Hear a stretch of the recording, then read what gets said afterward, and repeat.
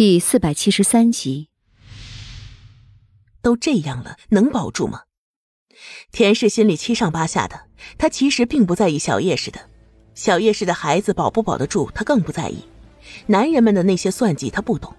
虽然自家男人一再的说小叶氏这个孩子对叶家来说也很重要，稳固叶家对白家的掌握都得靠这个孩子，可她到底就是个女人，男人的谋略她听了却并没太放在心上。但是如今小叶氏是伤在了叶家，她的男人还在大牢里，他知道绝不能让人在这里出事。快，快去取宫里送出来的参丸！田氏一咬牙，终于喊出了这句话。那是一种救命的药，是老太后前些年从宫里送出来的，据说危机时刻能够保人性命。先前叶成明从府衙里抬出来的时候还存着一口气，当时他就想过这个药，但也只是想想而已。终究是没把话说出来，而二夫人张氏当时都懵了，也没有想到那么多。田氏其实是有私心的，那个药丸叶家只有一枚，据说是老太后从罗叶国师手里得到的，一共也没几个。她私心里是想把这个留给自家男人的。再者，一个府上两位老爷，张氏仗着自己的父亲是外省府尹，又因为田氏的儿子就在那个省府求学，张氏认为田氏算是有求于他。经常不把这个大嫂放在眼里，所以他当时心念一动，想的都是老二若没了，张氏的气焰就燃不起来了，这个家也真正的归由自己这一方做主。所以那参丸叶成明没吃成就咽了气，但是他现在却不得不拿出来了，他必须得保住小叶氏这个孩子，否则他男人很有可能在阎王殿里头再也出不来。这一点他相信小叶氏和双环没有骗他。毕竟白鹤染对阎王殿的影响力在那摆着呢，原本那死丫头就总找叶家的茬，这要是再出乱子，肯定又给他提供了借口。参丸送来了，田氏不由分说，亲自塞到了小叶氏的嘴里，急着道：“妹妹，你且含着，别咽，就在口中含着便好。这是你姑母从宫里送出来的参丸，能救命的。你一定要体谅大嫂的苦心，大嫂是真心疼你，才把这好东西都拿出来给你吃。”说着，身子又往下俯了俯，声音压低了道：“你二哥到死都没吃上，你可千万别跟你二嫂提。”小叶氏含着药丸，听着这位大嫂的话，心中感慨更加丰富。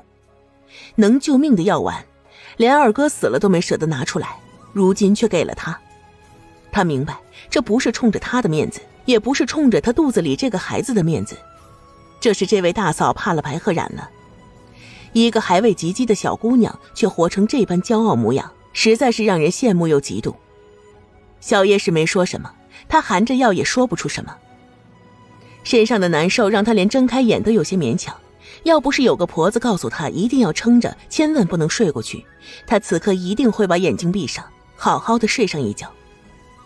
田氏见小叶氏对她非但没有感激，还爱搭不理的样子，心里有些气愤，但嘴上又不好说。只能求着这药丸能够管用，别浪费了好药，孩子还没保回来。药丸含了一会儿，有丫鬟查看了下，说：“好像已经不出血了，还真是好药。”田氏的心这才放下来。可这头心刚放下来，就听屋外又有喧哗声起，是个女人的声音，还有婴孩的啼哭。他皱了皱眉，让身边丫鬟出去看看是怎么回事。丫鬟走了一圈回来，无奈的道：“夫人。”是童姨娘抱着锦书少爷在外头哭呢。田氏听得直皱眉。童氏，童氏是叶二老爷叶成明的宠妾。白鹤染刚回京那会儿，童氏刚给叶成明生下一个胖儿子，是叶家的小少爷叶锦书。这叶锦书才半岁刚过，不宜入灵堂，更不能给逝者守丧。童姨娘一直陪着小少爷在后院待着。田氏原本是不想让他们娘俩出面的，毕竟张氏跟童姨娘也不对付。他也是怕他们二人在丧礼上再闹腾起来，又乱又不好看。可没想到同事不老老实实在后院待着，居然跑到这里哭丧来了。这是要干什么？同事发的是什么疯？还抱着锦书，那么小的孩子抱出来干什么？田氏气得鼓鼓的，赶紧叫人送回去，别一会儿二夫人又闹起来，这一出一出的还有完没完了？丫鬟一脸为难，夫人。许是咱们取参丸的事儿走漏了风声，童姨娘也不听谁说的，您将参丸给了白家夫人，这会儿就是为这事哭呢，直说要问问夫人您为何将那样贵重的药丸给了外人，为何二老爷奄奄一息时您不拿出来？田氏恨得咬牙，一个妾哪里有他说话的份儿？赶回去，他若不听话，就将锦书从他身边抱走，问问他是想为二爷争这口气，还是想安安生生养大这个孩子。丫鬟俯了俯身去了。不多时，屋外的哭喊声止住。很显然，在男人和孩子之间，同事选择了自己的孩子。田氏也松了口气，又回过头来看了看小叶时。夸张的叹了一声：“唉，你也看到了，我没骗你，这药丸真是非常珍贵。不求你能念着我的恩，只求你能帮帮你大哥。叶家需要他，你也需要他，咱们是一体的，应该共存亡。”小叶氏还是没什么反应，眼瞅着田氏面上现了不痛快，双环赶紧上前一步，压低了声音道：“大夫人。”我家主子今日过来，名义上是祭拜二老爷，实则是有要事要跟您通个口信儿。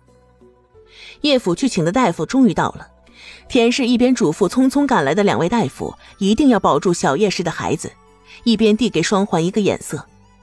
二人退出里屋，到了外间的小厅里。说吧，你们今日过来究竟所为何事？田氏对着双环就没多少好脸色了。一个丫鬟，还是叶家出去的丫鬟，如今竟也敢用白家来威胁他。要不是想着自家男人还在阎王殿里关着，他纵是不能拿小叶氏出气，也一定打死这个奴才。双环自然知道此刻的田氏极度不待见自己，可事已至此，他只能硬着头皮往前冲，退路绝对是没了。于是双环沉了沉心思，这才对田氏道。大夫人难道没瞧出什么不对劲儿吗？今日是我家主子自己来的，文国公并没有跟来。按说依着国公爷和叶家的关系与交情，今日这种场合他肯定是得到场的，但他就是没来。大夫人觉得这正常吗？经双环这么一提，田氏方才想起，还真的是没见着白星眼，不由得皱了眉。你便直说吧，近日府里事情多。我哪来的精神头跟你猜这等哑谜？双环点点头，将发生在文国公府的事情认认真真的对田氏说了一遍。说罢，还补充道：“这些只是在奴婢陪着主子往叶府来之前，至于我们离开之后又发生了什么，便不得而知。主子的意思是，叶家一则要做好准备，二小姐这一次来势汹汹，怕死了一个二老爷很难平息他的怒气；二则……”夫人，您还真得考虑考虑道歉的事情。不管银子拿不拿得出，至少脸面上得过得去，否则就按着十殿下敢打死二老爷的这个架势，阎王殿里关着的大老爷也得不着好。他敢！田氏下意识的脱口而出，可说完就蔫了。不敢吗？怎么可能？这世上还有什么事是那混世魔王不敢的？大夫人，双环又说话了。不管这次的事情叶家多丢面子，不管叶老二的死有多憋屈，这些不是大夫人您眼下该考虑的事情。您别怪奴婢多嘴，这也是我家主子的意思。眼下最重要的是大老爷的安危，已经死去的人肯定是回不来了，但还活着的人不能被放弃啊！大夫人，我家主子心里是向着您的，他跟二爷一家不亲。田氏深吸了一口气。头一次在一个下人面前认了怂。你说的对，活着的人对叶家来说才更有意义。那是我的夫君，我绝对不能放弃他。他咬咬牙，像是下了决心。这个罪得赔，心意也得表。你帮着我想想，叶家该怎么表这个态度？双环摇摇头。这个还得夫人您自己拿主意，奴婢如今不在叶府上，实在不好说话。田氏身边带着的进士丫鬟这时开了口：“夫人，表心意也是要用银子的。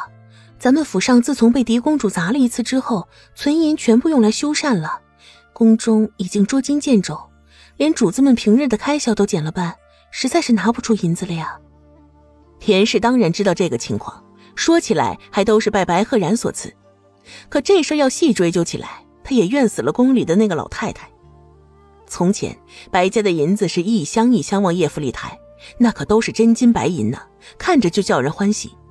可这欢喜劲儿还没等过呢，抬进来的银子还没等花呢，宫里的老太太一封密信过来，银子就又原封不动的被秘密送到了别的地方。送去哪儿他不知道，因为他家老爷说了，男人的事儿女人不要掺和。可如今却要他这个女人往外掏银子，他从哪儿掏？府上哪儿有钱呢？难不成要卖了谨言的宅子和庄子，还是要动用我的嫁妆？田氏不乐意，也不甘心。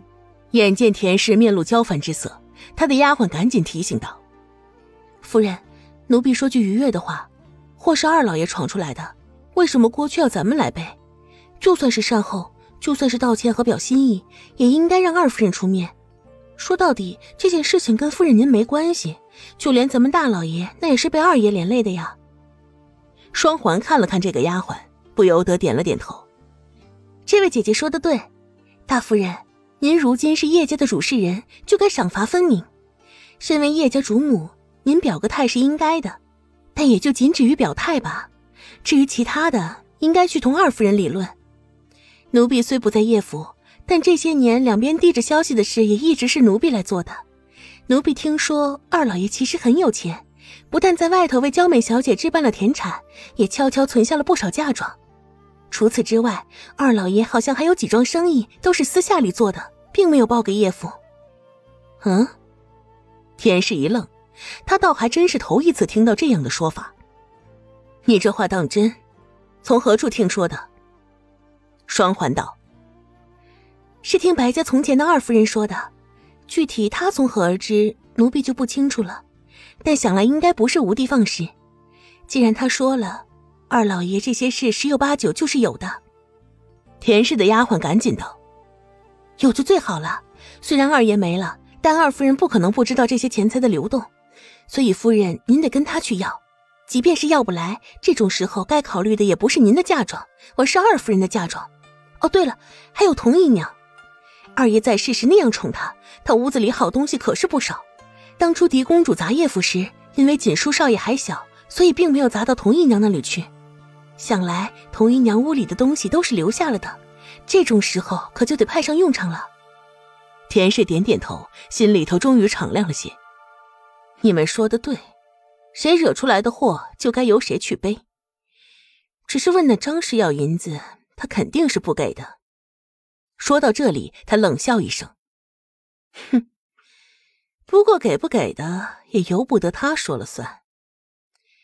双环，待你家主子胎相稳定了，你们便回府去，就跟那白鹤染说，这个太叶家一定会表，让他别急，最迟明日该表的胎都会送到文国公府去。双环点点头，如此便好，奴婢也一定会记得在二小姐面前多替大夫人您美言几句，望二小姐能念着您的好。对阎王殿里的大老爷高抬贵手，眼下就只有大老爷这个事儿是最重要的了。至于其他的，真的没有那么重要。田氏听出他话里还有话，于是问道：“你的意思是？”奴婢的意思是，既然没有那么重要，那么又何苦在这个节骨眼上让二小姐不痛快呢？二老爷抽了人家一鞭子，人家正记恨着，叶府这头却又大肆操办丧事。这万一哪处办不好，再触怒了二小姐，又或者是二小姐一个不高兴，又揪着这个事儿拿叶府出气，咱们不还是吃亏吗？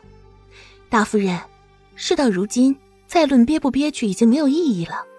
千事万事您都不要想，您只要念着一句话：“大老爷的命要紧”，便什么事都能看得开了。田氏懂了，立即吩咐身边丫鬟：“去，告诉前院的人撤了灵堂。”任何人不许再为二老爷扶丧，也不许哭，不能再穿丧服。总之，一切都要恢复成原本的样子，就当这件事情没有发生过。丫鬟点点头，立即去办了。大家好，在下讲故事的明灵，播出时间尚短，水平一般，能力有限，感谢各位听友的支持喜欢，欢迎大家多多关注，多多交流，爱你们哦。